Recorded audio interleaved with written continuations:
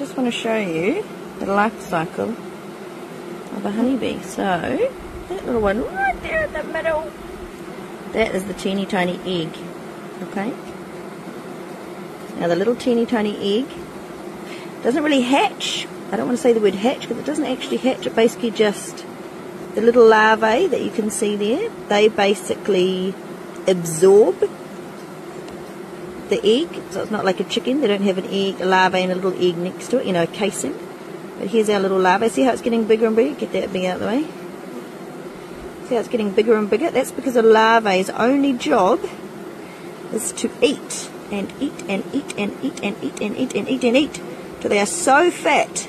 Okay, do you see the massive size difference? Teeny, teeny, tiny little ones there. Munch, munch, munch in six days. It only takes six days and then they are that huge. They are that huge. See my little juicy, juicy larvae? They're that big. The other bees come along and put a little cap on the top, okay?